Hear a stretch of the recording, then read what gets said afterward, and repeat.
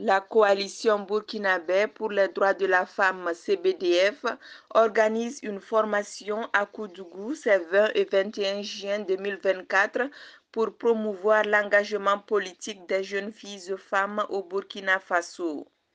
Cette initiative qui touche 30 bénéficiaires locaux fait suite à une étape réussie à Bobo Dioulasso.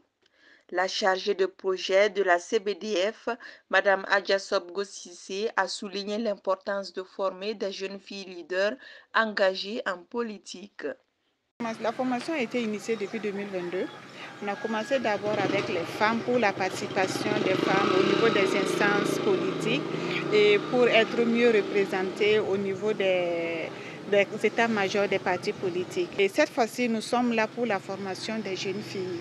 Voilà, vous n'êtes pas sans ignorer pour savoir qu'il faut constituer une pépinière en matière de politique.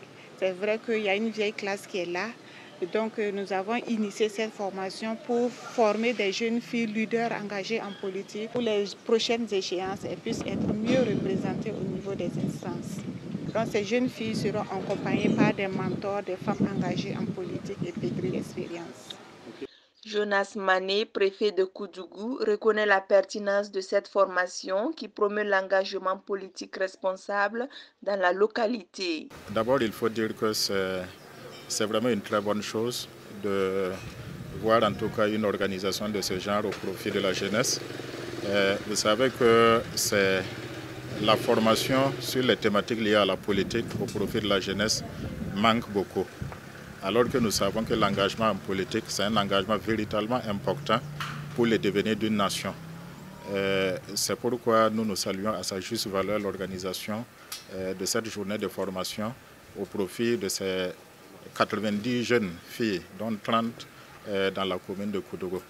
Les modules de formation visent à améliorer les connaissances en citoyenneté et à développer un engagement politique responsable des participants. Les modules qui seront déroulés seront un peu centrés sur les aspects donc, euh, euh, de la citoyenneté et de l'engagement politique et les enjeux pour la jeune fille. Aujourd'hui, euh, l'incivisme a beaucoup pris le pas sur vraiment le, civisme sur la citoyenneté.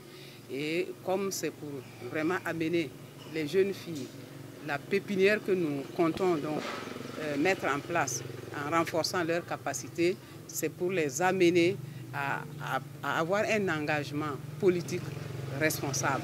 Donc, en les amenant à améliorer leurs connaissances sur une citoyenneté responsable, c'est un tremplin, nous pensons que c'est un tremplin pour effectivement et pouvoir enclencher un engagement politique beaucoup plus responsable, savoir choisir un parti politique selon donc ses convictions. Les participantes expriment leur enthousiasme tout en soulignant leur désir de développer leur potentiel. Je dirais que je suis déjà engagée en politique. Les difficultés sont énormes. Il y a la marginalisation, les préjugés sociaux également. Mais je crois que bon, je suis engagée, du coup, ça ne me cause pas un souci. Et que ça sera d'un grand apport puisque je serai en mesure d'être confiante, d'avoir confiance en ce que je ferai, de développer mes centres d'intérêt, de développer mes potentiels ainsi que mes atouts.